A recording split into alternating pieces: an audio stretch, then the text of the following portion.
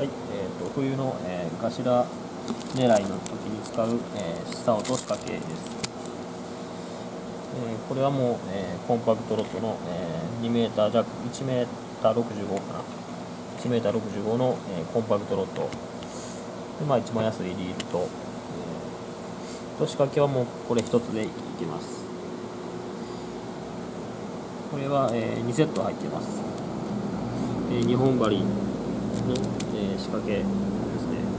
で下に、えー、鉛が来るような仕掛けになってますこういうふうになってますでセットしますはい出します。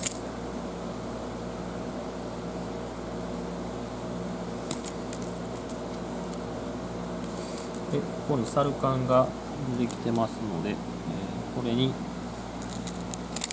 この、えー、竿を通した糸を通してこの通した、糸をここに結ぶ結ぶだけです。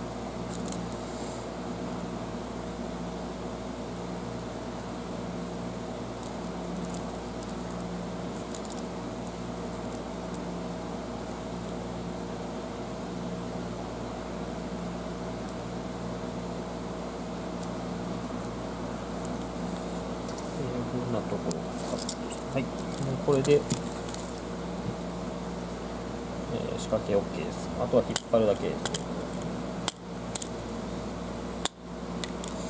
引っかかったら、やってください。